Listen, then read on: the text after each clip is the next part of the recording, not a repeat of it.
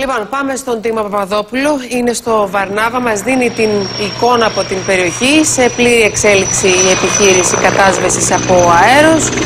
Βλέπουμε Τίμο, σε ακούμε. Τίμο.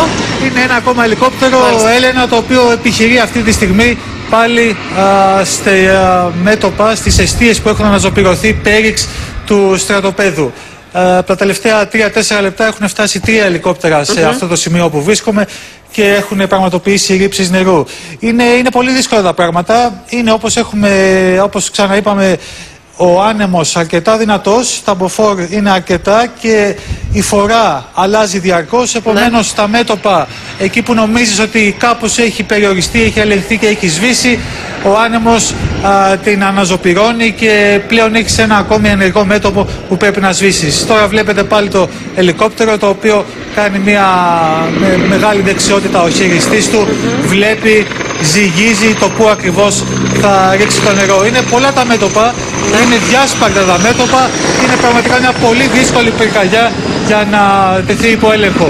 Δεν ξέρω α, αν τα επίγεια οχήματα μπορούν να συνεισφέρουν στην κατάσβεση Τι- της Τίμω, πυρκαγιάς. πες και το μας λέω πάλι αυτό το διότι, σημείο το όπως οποίο προείπα, βρίσκεσαι; Είναι πολύ έντονος. Είσαι μεταξύ στρατοπέδου και Ε, Βαρνάβα; Είμαι, είμαι στον Βαρνάβα στην περιοχή του στρατοπέδου. Ναι.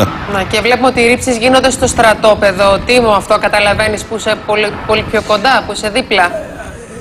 Ναι, είναι κάποιες ρήψεις γίνονται μέσα στο χώρο του στρατοπέδου, κάποιες ε, ρήψεις γίνονται έξω από το χώρο, περιμετρικά.